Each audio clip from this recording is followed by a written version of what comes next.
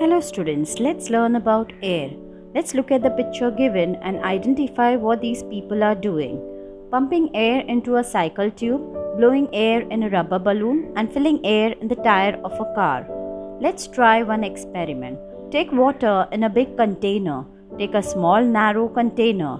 Hold it upside down on the surface of the water and without tilting it, push it down into the water. Now allow it to tilt. What do you see? Bubbles rise at once to the top. Air is lighter than water, so bubbles rise to the top as soon as the container is tilted. It means that there was air even in the container that appeared to be empty. This tells us that air occupies space. Let's try another experiment. Take large sheets of any waste paper or obtain old newspapers of about one month and tear each of the sheets into four pieces. Now place these sheets of paper one at a time in a pile on the floor. As the pile grows, observe the difference that can be seen in the layers of paper at the top of the pile and those near the floor. What do you see? As we place more and more papers on the pile, the sheets at the lower level are pressed down by the sheets above them. The distance between the papers in the lower part of the pile becomes less while the papers in the upper part appear to be further apart. This tells us that the nearer a sheet of paper is to the floor, the greater is the number of papers above it.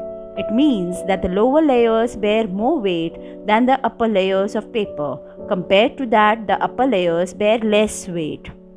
This tells us that air can be compressed. Let's learn about the atmosphere. The earth on which we live is round in shape like a ball. There is air all round the earth. If we go higher above the earth, we find that there is air till a height of almost 50 km. This covering of air around the earth is called the atmosphere. As we go further from the earth, the layers of air become thinner. That is, the layers of air closest to the earth are very close to each other, while the ones at higher levels are not so close. The air at greater heights is rare. Let's try one more experiment. Take a slightly deep dish like a saucer. Stand a candle at its center. Fill water in the dish. Light the candle. Now place a glass tumbler over the candle. What do you see? Soon the candle goes out and the level of water inside the tumbler rises up to a certain level. Why does this happen? One of the constituents of air helps burning. As it gets used up, water rises in the tumbler. When that constituent is finished, the candle goes out. The water level too stops rising.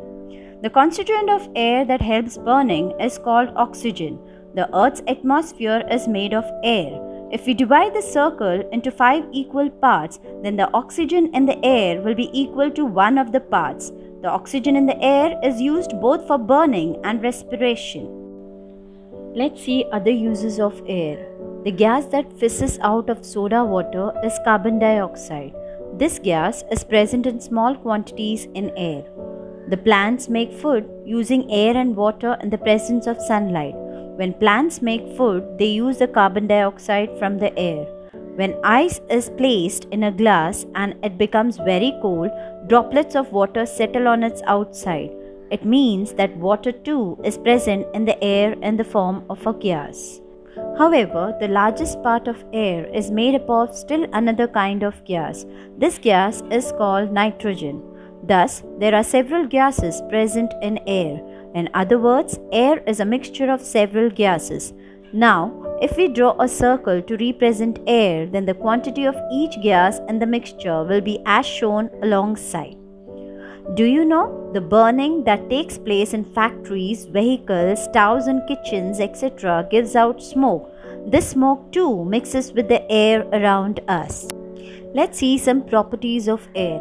Air takes up space, air has weight, air exerts pressure, air can be compressed, air is affected by altitude.